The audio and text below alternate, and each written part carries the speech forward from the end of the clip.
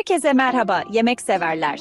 Bugün Türk mutfağının kalbine en az lezzeti kadar güzel bir tarifle iniyoruz. Perde pilavı.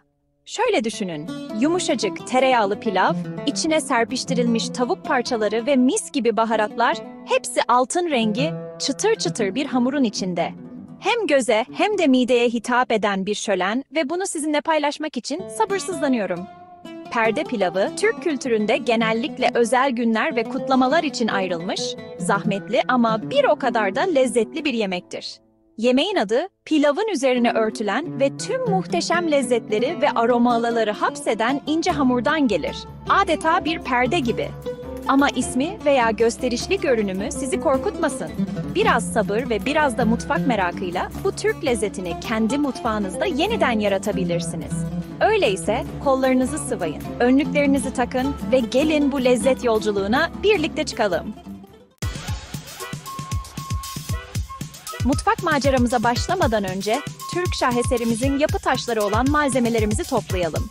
Merak etmeyin, bu malzemelerin çoğu muhtemelen zaten kilerinizde mevcut.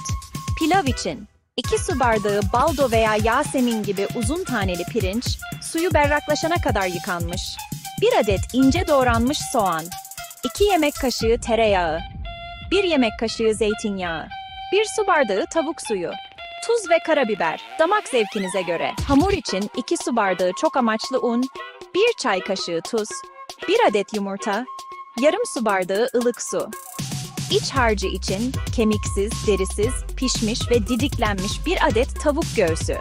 Artan kızarmış tavuğu da kullanabilirsiniz. Yarım su bardağı kavrulmuş ve iri çekilmiş badem. Çeyrek su bardağı kuru kuş üzümü.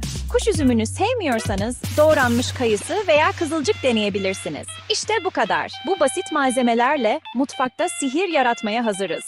Unutmayın, yemek pişirmek elinizdeki malzemeleri kullanmak ve kendi kişisel dokunuşunuzu katmakla ilgilidir. Bu yüzden bu tarifi kendinize ait kılmak için farklı baharatlar ve iç harçlar denemekten çekinmeyin. Malzemelerimizi topladığımıza göre perde pilavımızın temelini oluşturarak başlayalım. Pilav. Bu adımı diğer tüm tatların parlaması için boş bir tuval oluşturmak gibi düşünün. 1. Geniş bir tencere alın ve tereyağını zeytinyağı ile orta ateşte eritin. Tereyağı eridikten ve köpürdükten sonra doğranmış soğanı ekleyin ve yaklaşık 5 dakika yumuşayana ve şeffaflaşana kadar pişirin. 2 yıkanmış pirinci tencereye ekleyin ve tereyağlı, soğanlı lezzete bulanması için karıştırın. Bu adım pirinci hafifçe kavurarak güzel bir ceviz aroması vermesine yardımcı olur. 3. Tavuk suyunu dökün, bolca tuz ve karabiberle tatlandırın ve karışımı kaynatın. Kaynadıktan sonra ocağın altını kısın, tencerenin kapağını sıkıca kapatın ve pirinç yaklaşık 15 ila 20 dakika veya tüm sıvıyı çekene ve pirinçler pişene kadar kısık ateşte pişirin. Pirinç sihrini yaparken bir sonraki adıma geçelim. Hamuru yapmak. Şimdi ellerimizi biraz kirletme ve perde pilavına adını veren perdeyi oluşturma zamanı. Merak etmeyin, bu hamur inanılmaz derecede kolay ve çalışması keyifli. 1. Geniş bir kapta unu ve tuzu karıştırın. Un karışımının ortasına bir çukur açın ve yumurtayı kırın. Hamur bir araya gelmeye başlayana kadar çatalla karıştırarak ılık suyu yavaşça gezdirin. 2. Hamur kabaca birleştiğinde hafifçe unlanmış bir yüzeye ters çevirin ve pürüzsüz, elastik bir hamur elde edene kadar yaklaşık 5 ila 7 dakika yoğurun. Hamur biraz yapışkan geliyorsa bir veya iki tutam un ekleyin. Ancak çok fazla eklememeye çalışın, yoksa hamur sertleşir. 3. Yoğrulan hamuru bir top haline getirin, tekrar kaseye koyun, temiz bir mutfak havlusuyla örtün ve en az 30 dakika dinlendirin. Bu dinlenme süresi hamurdaki glutenin gevşemesini sağlayarak daha sonra açılmasını kolaylaştırır. Hamur biraz kestirirken biz de lezzetli iç harcımızı hazırlayalım. 5. bölüm Katmanlama sanatı mutfak şaheseri inşa etmek. Şimdi eğlenceli kısma geldik. Perde pilavımızı bir araya getirmek. İşte yaratıcılığınızın gerçekten parlayabileceği yer burası. Kendinize özgü hale getirmek için farklı katmanlar ve düzenlemeler denemekten çekinmeyin. İlk olarak fırınınızı 190 dereceye veya 375 derece Fahrenheit'e ısıtın. 23'e 33 santimlik bir fırın kabını tereyağı veya pişirme spreyi ile yağlayın ve bir kenara koyun. Bir kapta pişmiş didiklenmiş tavuğu, doğranmış bademleri ve kuru üzümleri karıştırın. Bu pilav ile hamur arasına yerleştirilen lezzetli iç harcımız olacak. Pirinç piştikten sonra bir çatalla hafifçe kabartın ve yarısını hazırladığınız fırın kabına eşit şekilde yayın. Pirincin üzerine tavuk ve badem karışımını koyun ve eşit şekilde yayın. Son olarak dolguyu kalan pirinçle kapatarak güzel ve eşit bir katman oluşturun. Şimdi hamurumuzu açma ve perde pilavımız için o meşhur perdeyi yaratma zamanı. 6. bölüm Pilavı pişirmek, bir çömlekçinin sabrı. Katmanlarımız birleştirildiğine göre mutfak kreasyonumuzu altın rengi çıtır çıtır örtüsüyle kapatma zamanı. Bu adım biraz sabır gerektiriyor ama inanın bana sonuçlar beklemeye değer. Çalışma yüzeyinizi hafifçe unlayın ve dinlenmiş hamuru fırın kabınızdan biraz daha büyük, geniş bir dikdörtgen şeklinde açın. Hamur ince, neredeyse yarı saydam, narin bir makarna yaprağı gibi olmalıdır. Açılan hamuru dikkatlice kaldırın ve fırın kabındaki pirinç karışımının üzerine örtün, kenarlarını her yerinden içeri doğru sokarak lezzetleri hapsedin.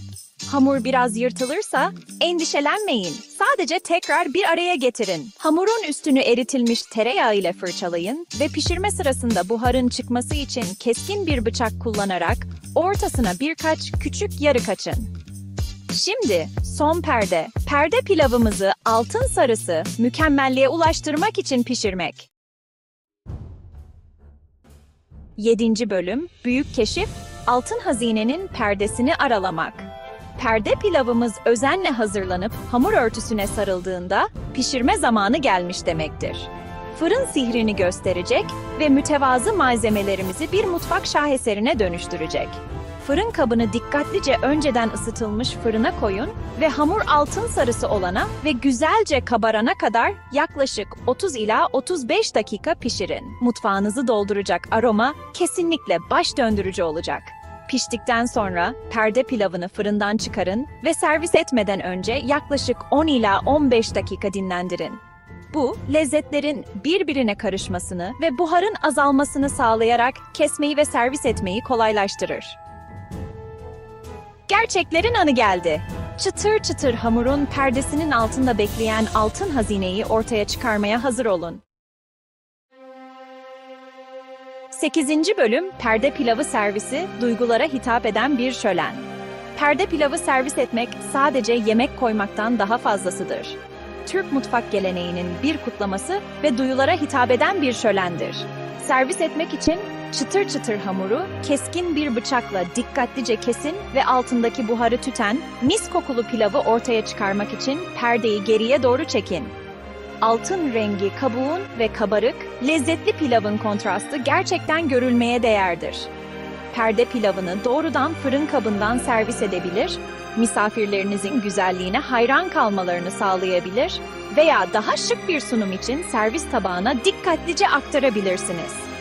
Nasıl sunmayı seçerseniz seçin, perde pilavı misafirlerinizi kesinlikle etkileyecek ve daha fazlasını istemelerini sağlayacaktır. 9. bölüm ipuçları ve püf noktaları bir Türk mutfağından sırlar. İşte perde pilavı mükemmelliğine ulaşmanıza yardımcı olacak birkaç ekstra ipucu ve püf noktası. Daha lezzetli bir pilav için safran veya zerdeçal ile tatlandırılmış tavuk suyu kullanmayı deneyin. Bu baharatlar yemeğinize güzel bir altın rengi ve ince bir toprak aroması katacaktır. Maceracı hissediyorsanız iç harcınıza doğranmış antep fıstığı, sotelenmiş mantar ve hatta biraz kuru nane gibi başka malzemeler ekleyebilirsiniz. Pilavın dibinin yanmasını önlemek için fırın kabınızın altındaki rafa su dolu bir fırın tepsisi koyabilirsiniz. Bu fırında buhar oluşturacak ve pirincin eşit şekilde pişmesine yardımcı olacaktır. Hamurunuzu açarken yırtılırsa panik yapmayın. Kenarlarını biraz suyla nemlendirin ve tekrar bir araya getirin. Unutmayın, pratik mükemmelleştirir. Denemekten ve bu tarifi kendinize ait kılmaktan korkmayın.